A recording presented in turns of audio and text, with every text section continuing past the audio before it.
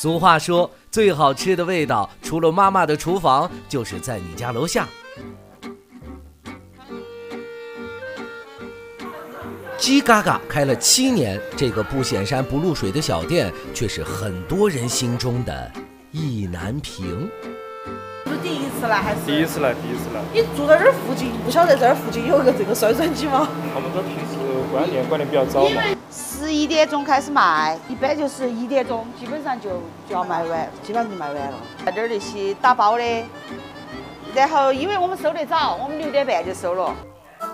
让食客们趋之若鹜的美味儿是鸡嘎嘎家的看家本领——酸酸鸡。这是凉拌鸡肉里的白月光，在吃惯了红油味儿的成都美食中留下了自己的名字。它的那个鸡肉的脆弹，啊，煮了过后还要蒸，哎，要把它晾冷，因为晾冷过后你才好宰成块块状。吴姐说，鸡肉一定要自然冷却，放凉之后才能达到肉质紧实的效果。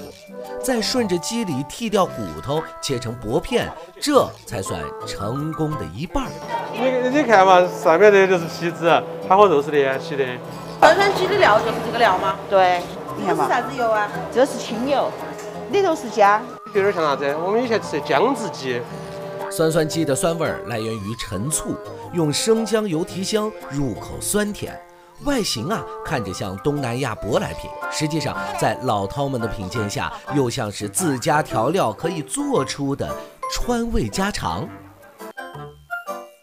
当然，作为特色的酸酸鸡也是有 CP 的，只是作为组合，名字有点过分接地气。红配绿，红配绿就是应该是酸酸鸡和原子汤。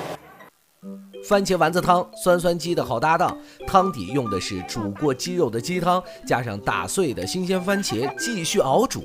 汤可以无限续杯，但丸子则是十二块钱五个，标准的老成都酱油大肉丸子，手工揉搓，十分紧实。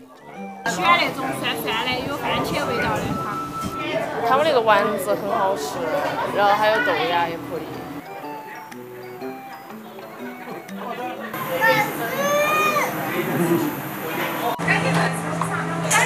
哎，再来一个鸡片，两个酸酸鸡吗？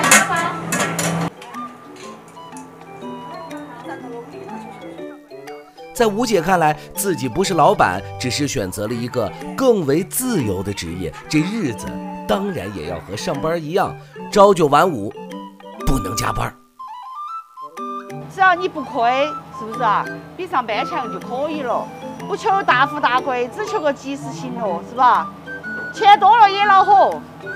这大概就是非典型家庭餐厅的特点：老板不像老板，更像是等待食客回家吃饭的自家人。而这种随心随意的氛围，让无数打工人羡慕不已。你们还缺人不？你们还缺人不？我们都是这儿屋头，都是一家人。这是我的妈。炒回锅肉，姐姐些，姐姐就帮你们打下手。哦，打下手。这儿老公就专门管那儿里头的。我是啥子呢？我大堂经理，我也不是老板儿，都给自己打工。